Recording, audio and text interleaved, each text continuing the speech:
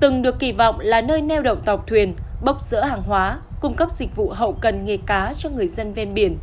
Thế nhưng dự án nâng cấp cảng cá Hoàng Phụ tại huyện Hoàng Hóa, tỉnh Thanh Hóa được đưa vào khai thác chưa lâu đã trong tình trạng hoang vắng, gây lãng phí.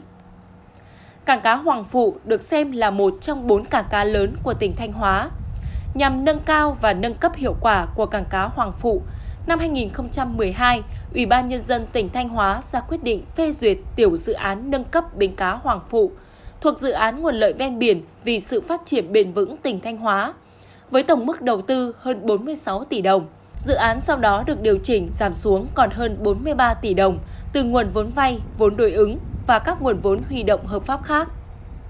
Dự án do Sở Nông nghiệp và Phát triển Nông thôn tỉnh Thanh Hóa làm chủ đầu tư được kỳ vọng sẽ phát huy được công năng, trở thành nơi tránh trú bão an toàn cho tàu thuyền của người dân xã Hoàng Phụ.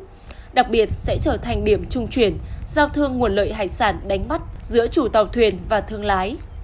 Năm 2017, công trình hoàn thành, đã được bàn giao cho Ủy ban Nhân dân huyện Hoàng Hóa và Ủy ban Nhân dân xã Hoàng Phụ quản lý, khai thác. Tuy nhiên, sau khi đưa vào khai thác chưa lâu, cảng cá luôn rơi vào tình trạng hoang vắng, không diễn ra bất cứ hoạt động neo đậu tàu thuyền, giao thương, buôn bán nào.